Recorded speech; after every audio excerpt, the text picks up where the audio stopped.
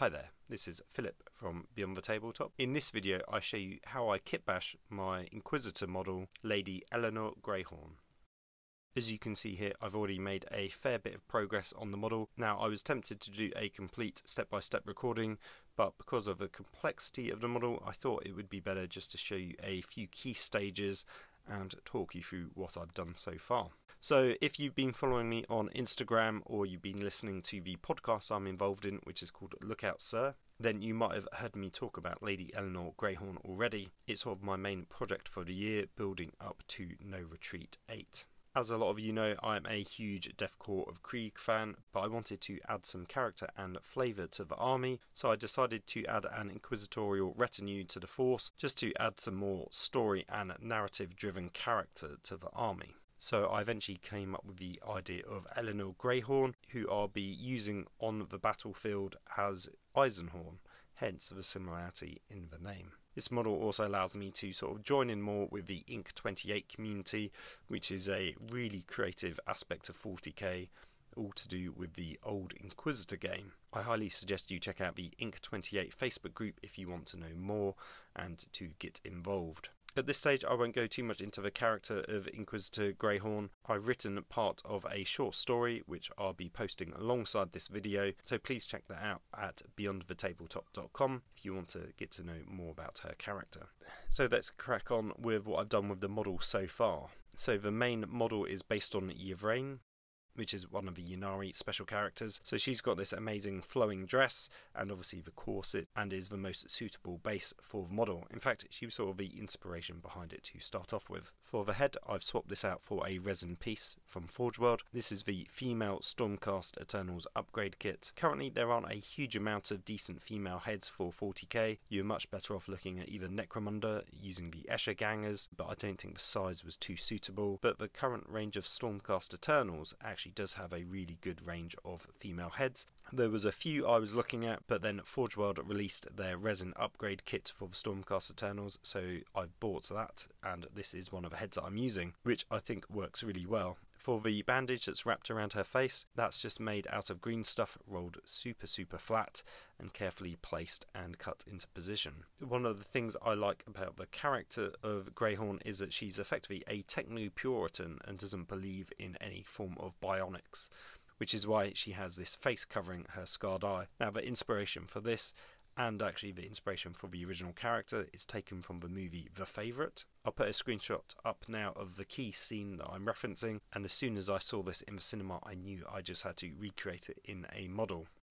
Now, moving down to the torso part of the body, I carefully shaved off all the extra detail that was on the arms, which is this like banding from the bodysuit and I removed some of the decorative detail. I've kept some of the decorative necklace detail so it now looks like a cross and a piece of jewellery. I'm still not entirely sure if I'll keep that on there or if I'll take it off at a later date. And then when it comes to shaving off this detail, what I've done is I've just used a sharp knife to cut it all off and then I've used some Tamiya extra thin cement and I brushed that onto that area which helps smooth out the plastic and then a similar thing to the corset piece which is a separate piece I trimmed out all of that detail very carefully and smoothened it off using that extra thin plastic glue.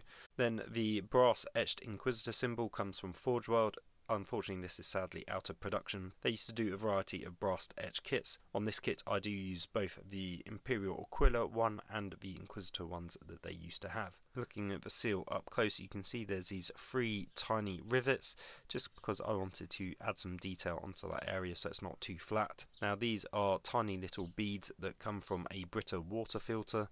I think I've mentioned this in a few previous videos and I should do a dedicated video all about making rivets. But basically I found three that were of the same size and carefully sliced them in half and then used some super glue to attach them to the model. For the flat area of the corset, I think I'll keep that plain for now. I'll try and add in some lace detail when it comes to painting the model. You can also see that there's a pin protruding from her right arm. This is for mounting her arm in a slightly different pose because originally it is pointing downwards. So the plan here is that I can add in her new arm so I can slot it in so she's going to be striding forwards shooting her gun. So the reason why that pin is in place is because to get the pose correctly I need to readjust the arm so it is actually mounted slightly further forwards than it would have been from where I actually cut it off the model because this was all one piece originally. At some point later I will glue this in and green stuff this all in. When it comes to the gun itself I had to construct this from a few different pieces. The gun itself is from the Tech Priest Dominus kit, and then the hand with the pistol grip is from the Escher kit from Necromunda. And then you can see here along that green stuff line where I basically had to join the hand to the original Yvraine arm and then the join line between these two pieces is just sort of along that cut line. So this one is carefully constructed between the hand piece here, the rest of the pistol, and then Yvraine's arm just there. So it was a little fiddly to construct, but I did manage to pull it off. Now I do think the gun looks maybe a little bit on the large side for her, but I did want her to be striding forwards, shooting one of those old style dueling pistols, again inspired by another scene from the favourite. And lastly, we come to the boots. Now, this is something I've actually spent the majority of the time on on this model so far, but I think the effort has paid off really well. These are her original legs, but I just scraped off all the extra detail, such as the banding and the bracelet that was on there and originally you could see her toes as well. So she obviously wasn't wearing any footwear.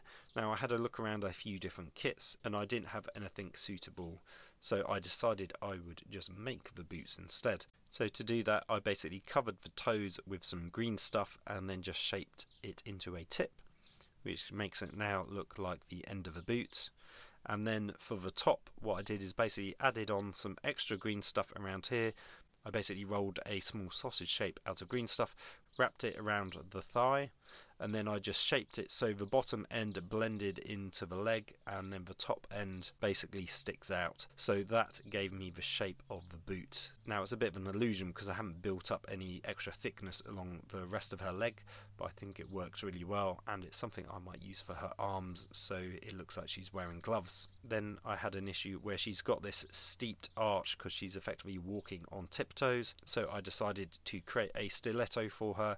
Now it does feel a bit impractical in 40k, especially when she's going into combat that she's going to be wearing some heels, but it feels like it's the best solution to work around this pose so it looks correct. To make the heel, I had some thick Plastruct card, and basically I heated it under a flame, and then as soon as it started to warp, I basically pulled it tight, which created this nice little stretch effect going from the small bit that I pulled to the original thickness and then once it had cooled down I could just cut it to shape. I could then just glue it in place with some plastic glue and then just green stuff at the edges to smooth it out. Now it's worth mentioning that the back boot isn't really going to be visible because the rest of the dress is going to be covering it up.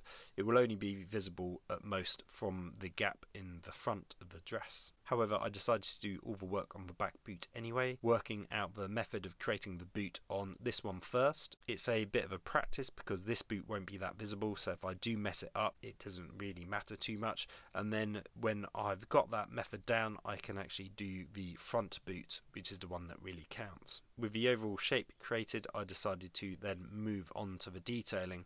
I left the green stuff to cure overnight so I wouldn't mess it up with anything else, and then I moved on to the next step, which was creating the little skull symbol.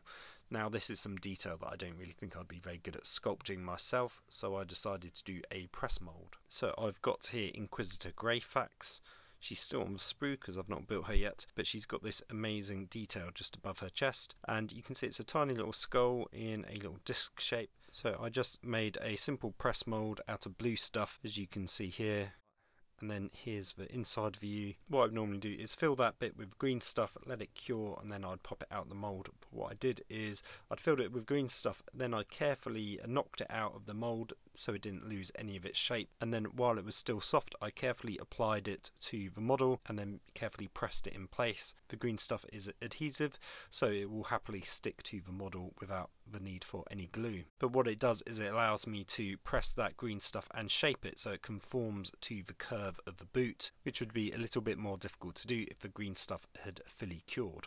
And then for the strap going around, I just rolled out a bit of green stuff into a sausage, wrapped it around the boot, and then using a mixture of my modelling tools and a knife, shaped it out into a strap and then carefully indented it to create a little bit of detail. I didn't need to worry too much about the detail at the very back of the straps, especially the back strap here because that one won't really be visible. It's mostly just from this front angle which you'll be able to see the boots.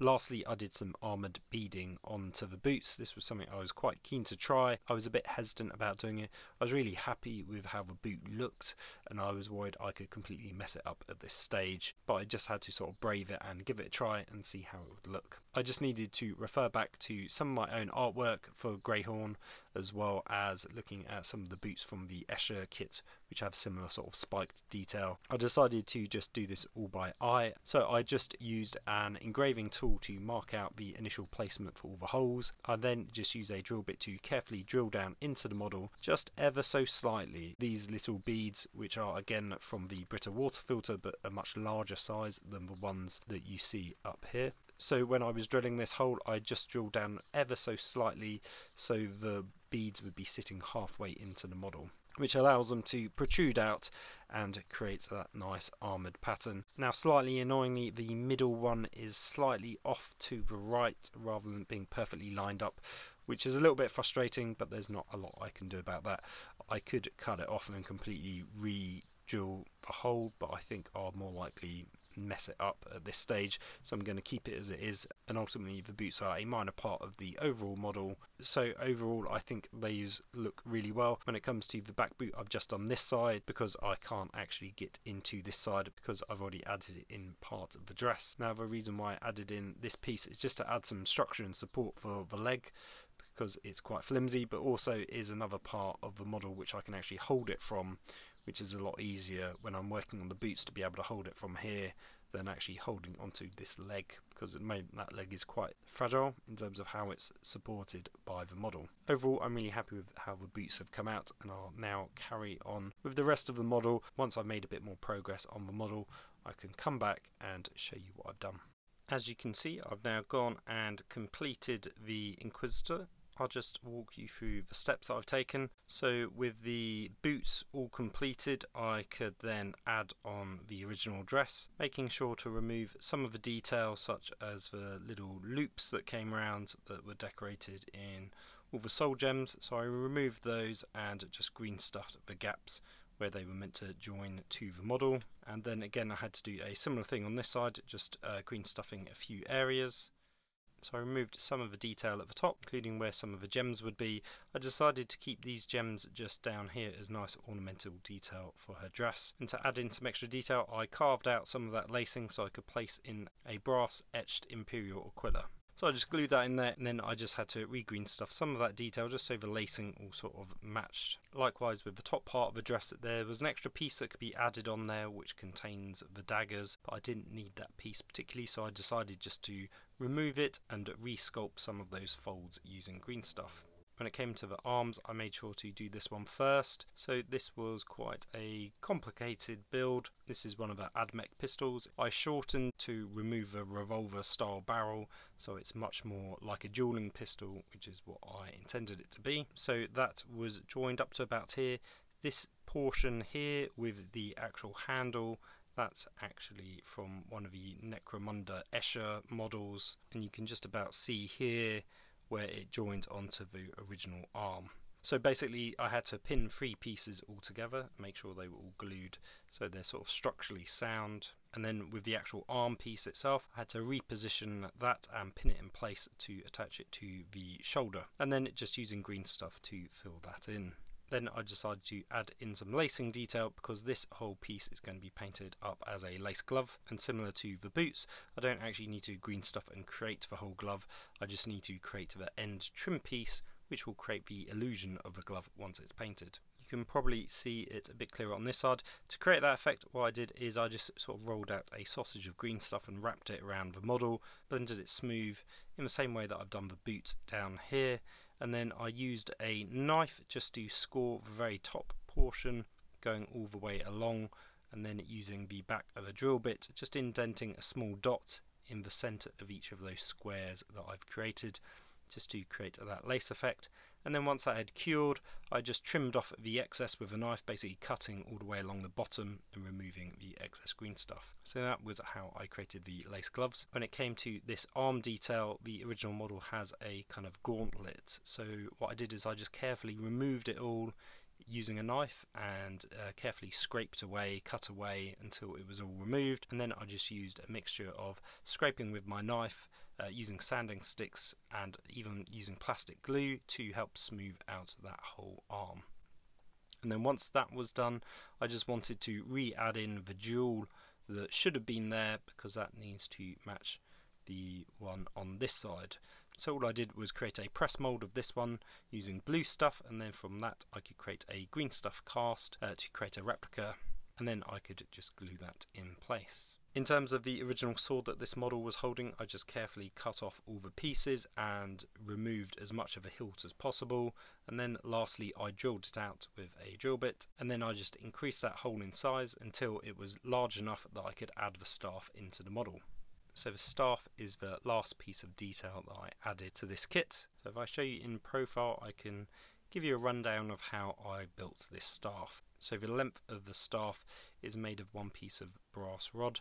Then I had effectively some telescopic tubing of brass, which is a slightly larger piece that I could mount directly onto that first piece of rod, which gave me this piece and also the end piece just here. Then I decided to add on some extra detail. Now I wanted the staff to slightly resemble Eisenhorn's because again this is an Eisenhorn proxy when I'm running it in 40k so I loved the idea that there was a skull mounted on the staff but rather than just using Eisenhorn stuff I decided to create my own. So this piece while similar to Eisenhorn's isn't actually from his kit is from the old Forge World Rogue Psyker model, which is now part of the Necromunda kit. There was two of these that sort of stick out from his back, so I just took one of those, uh, cut it to shape and drilled a hole in, and then to add in some extra detail I kind of scored in a little eye onto his skull just to represent the Inquisition. And then to add in some extra detail, I added this piece on top. This bit's from a Blood Angel kit. I believe it's either the Captain or the Terminator Captain. It's an iron halo, so I just had to carefully mount that. In fact, I pinned it at the very top, and then just added in some plasticard rod just as an extra bit of detail into that centerpiece so you can see on both sides how that looks. So you can also see some extra riveting detail just here once at the front and once at the back. And then also on the bottom of the staff I've actually done it at all four points. And then rather than have the staff absolutely flat I decided to kind of round it off which I'm probably going to paint up as a jewel of some kind. So that was just some super glue mixed with baby powder which is why it's got that slightly cloudy effect. And I just blobbed it on and then it sort of just smoothed itself out all nicely to create that nice effect. Then the last piece of detail that I wanted to add in was the banding on the staff. I thought about keeping this plain and just painting it up, but I thought it would be a lot better to actually physically add on this detail. So I had done this before I had mounted the staff onto the model, just so I could complete the banding all the way along. And to do this, I've actually just used very thin paper. So what I've used is Wufu modeling paper from VMS. It's basically super thin paper which is excellent for modeling and I've actually started to use this in a lot more of my projects which you'll probably see in future videos as well. So all I had to do was cut out some thin strips of paper. So I applied some PVA glue to the paper and then I started at this end and slowly wrapped the paper all the way around and I just kept going. Now a few times the paper tore and sometimes I just run out of length of paper so I could just repeat the process with some new stuff and I would just go all the way around until I was complete. Now you can probably see in some areas like here I managed to get the banding really good and then in others it's sort of slightly bunched up unfortunately just up here but I think overall the effect was well worth it and it will look pretty good once it's been painted up. So once all of that had been glued in place, I just made sure I left it to dry and then I went back over with a thin coat of PVA mixed with a tiny bit of water and then to make sure that this paper was set in place I just went over the whole piece again with some PVA glue, a little bit mixed with water, just with a brush to apply all the way along, and then again let that dry. And I just did that several times over. And the great thing about PVA glue is it really shrinks up, so you don't ever really lose any kind of detail. I can run my finger along here and I can still feel those individual ridges of the banding. Uh, so I've not lost any detail by coating it in PVA glue. And then once that had dried, I could just carefully thread it through this arm and then actually I added this cap on at the very end because that piece would be too thick to go through the handhold that I had created which is what created that little bunching just here where the paper had got slightly pushed down when adding this end cap on. I've temporarily just blue tacked her down to her base because I will paint her up separate from it and add the base on at the very end. So that's all the steps in creating my Inquisitor Lady Eleanor Greyhorn. I did think about adding in some extra detail such as her holster for her pistol, as well as her other war gear items such as a book and a power sword, in addition to some grenades. But I realised that adding in that extra level of detail would just clutter the model too much to the point where it wouldn't look particularly good. So I've decided to add all of those pieces onto another character who's going to be holding onto her war gear, but I'll cover that character in a future video. So I've completed the very last step of the model and that's the basing. So if I just remove this model because it's not attached on, I've basically done a mixture of like broken paving slab, which is very similar to the style that I've done uh, on my Assassins. And this broken paving slab style is what I'll be doing for my Inquisition models, just to tie them all together. However, all the exterior areas will be textured up with that Stirland mud, which is what I use on my Death Korps of Krieg models. So it will actually be loosely tied in with my Death Korps of Krieg army, but the broken slab effect will just make them stand out ever so slightly so you can see the two distinct forces. So what I've done is just use some thin plasticard and cut up into some random shapes and I've basically created the paving slabs and glued that in initially. So you can see that I've done some extra details such as chipping, like here and here, whether that's from weapons, bullets or age. And then I've scored in a couple of extra details of the cracked and broken stonework. And then to fill in the area and to create a bit more of a rough surface, rather than just relying on the Stirland texture mud at the very end, I decided to sort of create that texture to start off with and I can then just paint it up appropriately. So I decided to artificially create that textured mud by using a mixture of baby powder and super glue mixed together to create a thick glue which I could then apply to all the cracks and all over. And then what I did is I sprinkled more baby powder on top which gives you a nice rough finish. So if I show you on the side and look around you can see that it just gives you a nice sort of lumpy texture all the way around. And I can refine that further later on.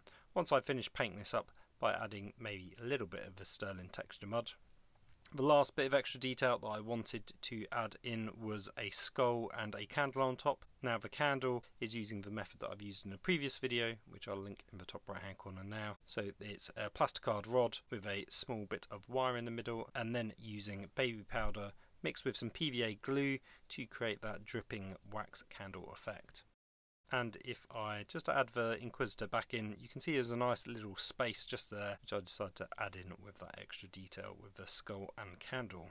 Now most of the stonework won't be visible because it's hidden under the dress but because I want her to be raised up slightly I decided it would make more sense that I do the whole of the surface and then just add her on top rather than try and make her sit on the base and then have the slabs going sort of to the side. You'll also notice there's one issue here with the foot because obviously the foot has a bit of a base plate on which you're meant to glue down onto the model. I don't want to run the risk of cutting off that plastic. I think it would be too difficult. However, once I've glued that down, I'm just going to add on some additional texture, maybe using the Stirland mud just to cover up that gap.